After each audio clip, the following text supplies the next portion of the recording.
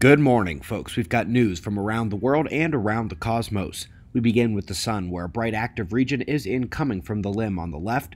Let's go to spaceweathernews.com and find the last day on our star with the southern coronal hole having turned out. That bright region on the left is another umbral fields only area. No actual sunspots beneath him visible this morning. The geomagnetic conditions are calm and quiet right now, and that's as the solar wind takes a dive. We figured the coronal hole stream had a chance to impact yesterday, but instead it was merely the crossing of the heliospheric current sheet. Blue up top begins its flip this morning as plasma speed in purple drops out, with a slight hump on the particle density in orange above that.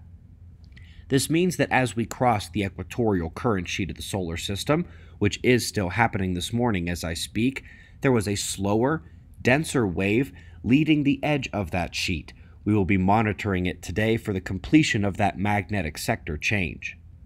Little object of interest on Soho Lasco here. If you don't see it, I will zoom in and track it next. That is indeed a little sun-diving comet, appears to be of the Kreutz family position of approach, repeating the red C2 frame here as it disintegrated under the intense solar wind pressure. Folks, we've got it all here in the U.S. Near record heat in the east yesterday, Record cold and snow continues hitting the west and central states. At the core of the weather concerns are both temperature livability and food production. NASA and USGS teaming up on that last one. They are using satellite data to track every crop, every day, every change. This is used for everything from setting the price of the markets to recognize deleterious effects of the weather on crops. It helps inform the decision makers in charge of our food about trends and the overall security of the pipeline. Up next, it is always good that scientists continue to study the mechanisms of solar flares.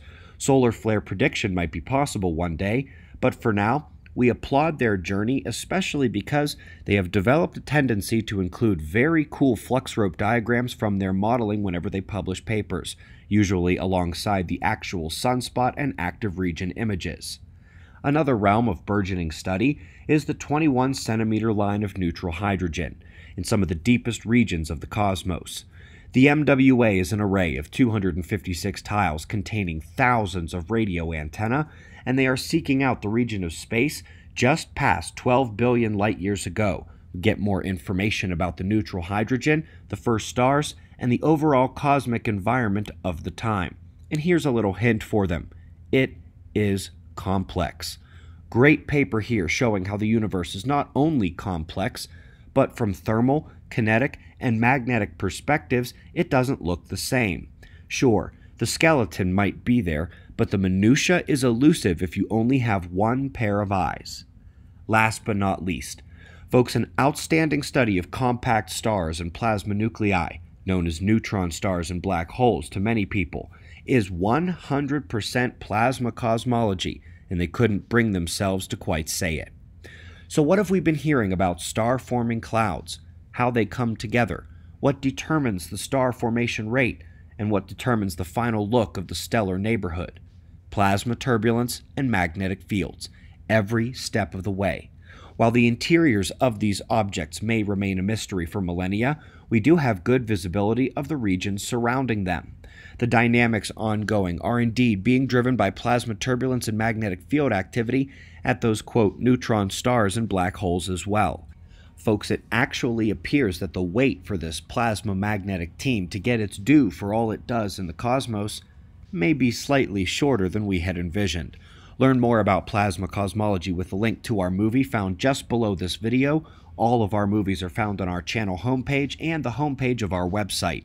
Folks, we greatly appreciate your support. Over at otf.selz.com, we've got our gear and our books discounted. Cat doth decree it persisteth through Small Business Saturday.